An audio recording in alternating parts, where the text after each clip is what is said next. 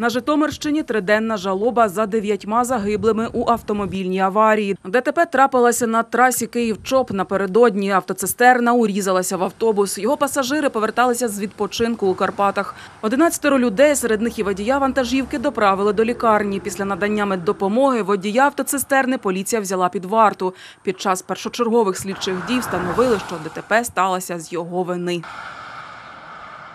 Попередньо встановлено, що водій автобусу зупинився для усунення технічної несправності, а саме заміни пробитого колеса. Частина пасажирів у цей момент вийшли з салону, частина залишалася у салоні автобуса. У цей момент водій вантажівки не впорався з керуванням і вчинив зіткнення з автобусом, який знаходився на узбіччі. Е, На даний час чоловік затриманий.